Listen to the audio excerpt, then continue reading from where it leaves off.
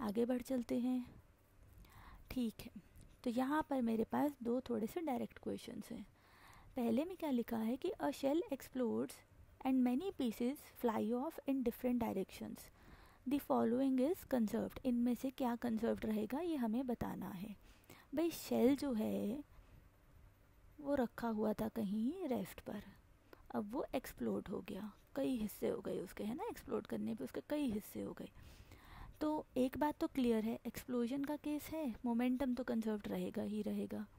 यानी कि बी या फिर डी करेक्ट है, ठीक है? ये और ये अभी हम इग्नोर कर सकते हैं। फिर आगे देखो तो बी में लिखा है कि सिर्फ़ मोमेंटम कंजर्व रहेगा, लेकिन डी में लिखा है मोमेंटम और काइनेटिक एनर्जी दोनों कंजर्व रहेंगे। अब भाई काइनेटिक एनर्जी कैसे कंजर्व रहेगी? आप खुद देख लो। शेल पहले तो लेफ़्ट में था काइनेटिक एनर्जी कितनी थी? ज़ीरो लेकिन बाद में फ्रैगमेंट्स कोई इधर गया, कोई उधर गया, कोई इधर गया। तो काइनेटिक एनर्जी बाद में नॉन ज़ीरो हो गई।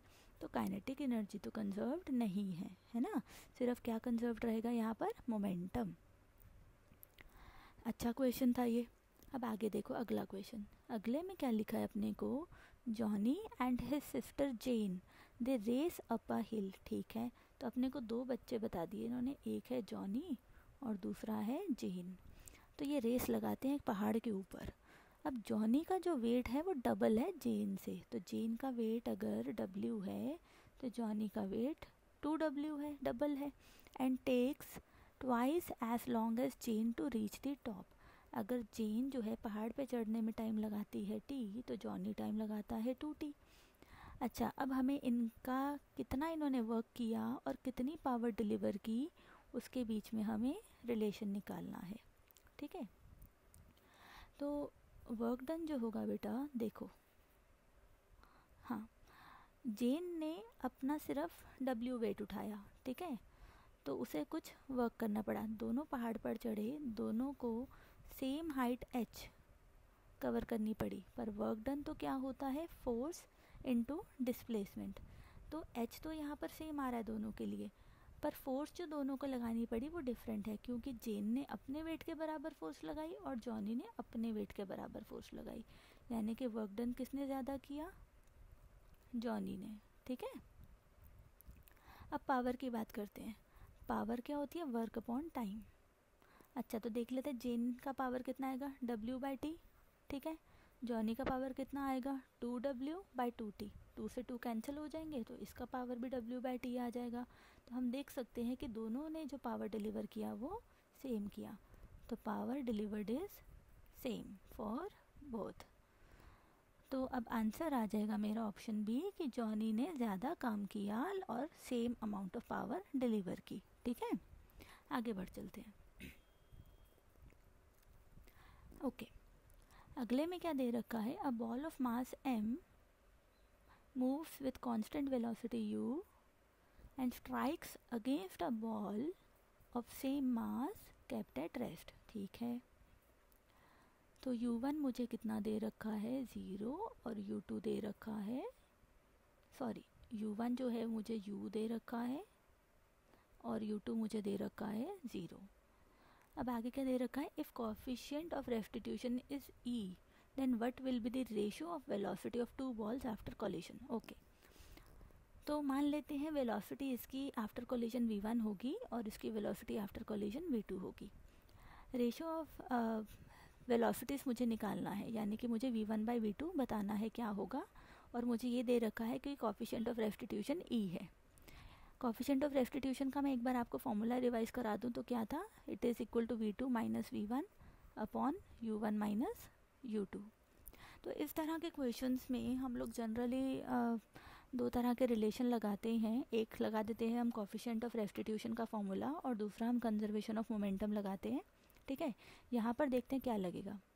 तो पहला तो अपने पास क्या आ रहा है? ई e का रिलेशन है। E is equal to V two minus V one upon U one U one देखो कितना है? यू के बराबर और यू टू कितना है? ज़ीरो तो मेरे पास आ गया relation E U is equal to V two minus V one ठीक है? अब दूसरी इक्वेशन मेरी बन जाएगी कंजर्वेशन ऑफ़ मोमेंटम से। ये पहली इक्वेशन है, दूसरी बन जाएगी कंजर्वेशन ऑफ़ मोमेंटम से। इनिशियल मोमेंटम कितना है सिस्टम में? एम इंटू यू पहली बॉल का। दूसरी बॉल तो रेस्ट पर है। This is equal to M into V one पहली बॉल के लिए। फाइनल मोमेंटम उसका। और दूसरी बॉल का मोमेंटम कितना है? एम इंटू वी टू यहाँ पर एम कॉमन लेकर कैंसिल हो जाएगा। और मेरे पास आ जाएगा u is equal to V one plus V two ठीक है? अब हमें निकालना क्या है? इन दोनों बॉल्स के रेशो निकालनी है। तो मैं इसको सेकंड इक्वेशन को फ़र्स्ट में सब्सटीट्यूट कर देती हूँ। ठीक है? यू की जगह पे मैं V one plus V two लिख देती हूँ। तो V one plus V two यहाँ पर लिख दिया और this is equal to V two minus V one तो इसे ज़रा ओपन कर लेते हैं। E V one plus E V two equal to V two minus V one ठीक है?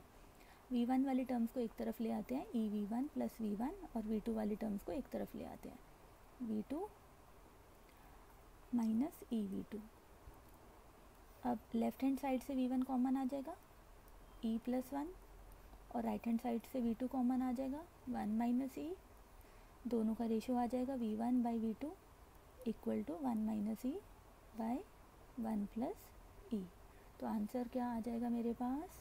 पहला ऑप्शन ए ठीक है? आई होप आपको क्लियर हुआ होगा। आगे बढ़ चलते हैं। ठीक है। क्या दे रखा है कि एक पार्टिकल है जिसे हमने एच हाइट से रिलीज़ किया। तो एक पार्टिकल को हमने एच हाइट से रिलीज़ किया। ये हाइट कितनी दे रखी है? H at a certain height कहीं किसी हाइट पर, मानो यहाँ पर। Its kinetic energy is two time its potential energy इसकी जो काइनेटिक एनर्जी है it is two times its potential energy ठीक है?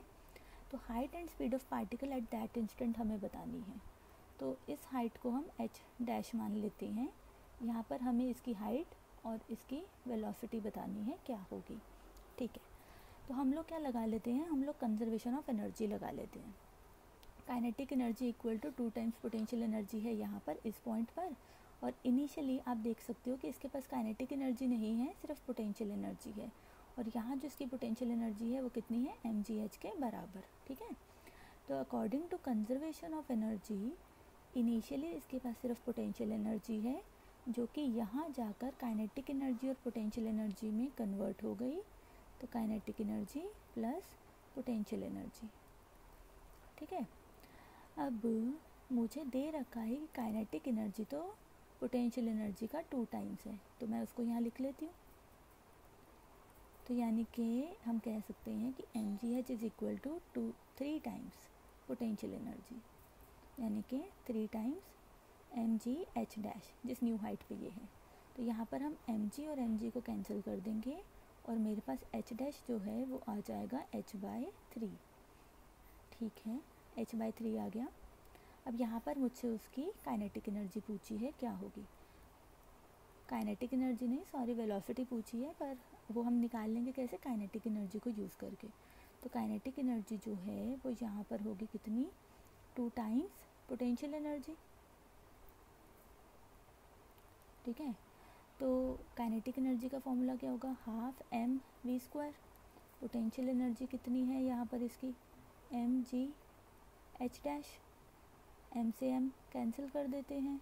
V square by two is equal to two G और एच डैश की वैल्यू कितनी आई है? एच बाई थ्री तो वी स्क्वायर अपने पास आ जाएगा four G H by three ठीक है? तो वी की वैल्यू आ जाएगी under root of four G H by three तो अपना आंसर आ जाएगा कौन सा ऑप्शन मैच हो रहा है यहाँ पर? हाँ इसमें से हम टू ये फोर बाहर निकाल सकते हैं ना? फोर स्क्वायर है टू का। तो two under root of G H by three तो ये अपना आ गया ऑप्शन बी ये सही आंसर है, ठीक है? आगे बढ़ चलते हैं, चलो। तो इस क्वेश्चन में अपने को क्या दे रखा है कि particle A makes perfectly elastic collision with another particle B at rest ठीक है। तो एक पार्टिकल है ए दूसरा पार्टिकल है बी ए इनिशियली मूव कर रहा है। इसकी स्पीड कुछ यू वन मान लेते हैं। फिर बी जो है वो रेस्ट पर है, यानी कि यू टू जो है वो ज़ीरो है। फिर क्या दे रखा है कि कॉलिजन के बाद they fly apart in opposite directions with equal speed तो कॉलिजन के बाद ए जो है वो इधर जाएगा स्पीड वी से, और बी जो है वो इधर जाएगा स्पीड वी से। ठीक है? हमें रेशो बताने हैं इनके मासेस की क्या होगी।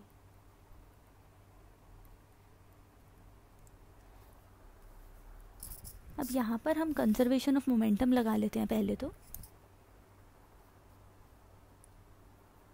आप साथ साथ इक्वेशन लिखते रहिए अपनी कॉपी में और मैच करिए मेरे इक्वेशन से।